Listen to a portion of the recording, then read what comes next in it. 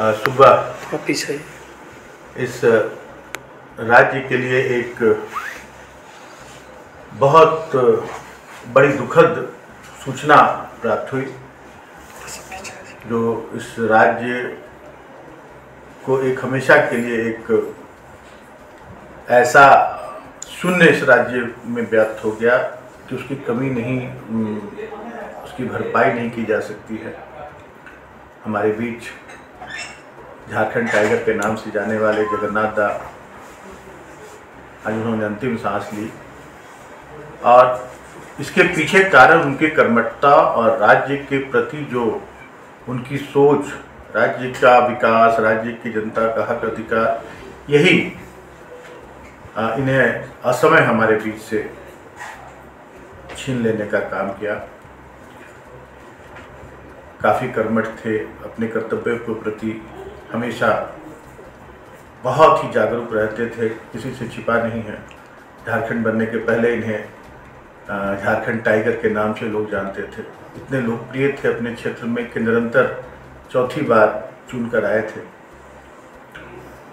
और हमारे तो पड़ोसी थे, हमें तो गोतिया कहकर संबोधित करते थे। आज हमारे पूरे परिवार में आज पूरी तरह से सभी लोग शोकाकुल हैं। पूरे राज्य की जनता शोकाकुल है। किसी दल विशेष के नेता नहीं थे, वो पूरे राज्य के नेता थे और राज्य के हितों की बात करते थे। आज के दिन हम यही कहना चाहेंगे कि मिस्टर पूर्णीय क्षति को पूरा करना तो असंभव है, लेकिन जो चले जाते हैं उन्हें वापस लाना भी असंभव है। ईश्वर से यही प्रार्थना करते हैं कि दिवंगत आत्मा को चीज़ शांति प्रदान करे और पूरे परिवार को इस दुख की घड़ी को सहन शक्ति को सहने की शक्ति प्रदान करे, पूरा झारखंड मुक्ति मोर्चा परिवार ही नहीं, पूरा राज्य इस दुख की घड़ी में उनके साथ उनके परिवार के साथ खड़ा है। दो दिन का राजकीय शोक घोषित किया गया है। सभी सरकारी कार्यालय बंद रहेंगे, सरकारी कार्यालयों के झंडे चुके रहेंगे और उनके सम्मान में माननीय मुख्यमंत्री ने ये घोषणा की है। लेकिन ये सम्मान काफ़ी नहीं होगा। हमारे ऐसे व्यक्तित्व के लिए जिन्होंने अपने युवा अवस्था में ही इस राज्य के को अल, अलग कराने के लिए आंदोलन किया। निश्चित रूप से मैं ये कहता हूँ कि इनके जैसा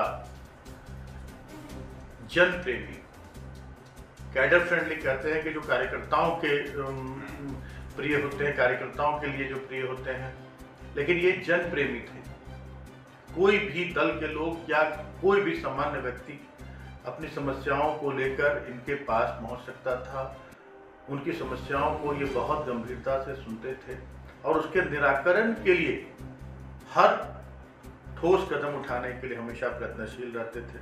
और उसी का परिणाम है कि एक शिक्षा मंत्री के रूप में इन्होंने एक अमिट छाप छोड़ी है पूरे राज्य में। बहुत सारे ऐसे ऐसे कार्य पारा शिक्षकों को सहायक शिक्षक का सम्मान देना अ, उन्हें उनका मानदेय बढ़ाना स्कूलों का ग्रेडेशन स्कूल ऑफ़ एक्सेलेंस के रूप में बहुत सारे स्कूलों को परिवर्तित करना।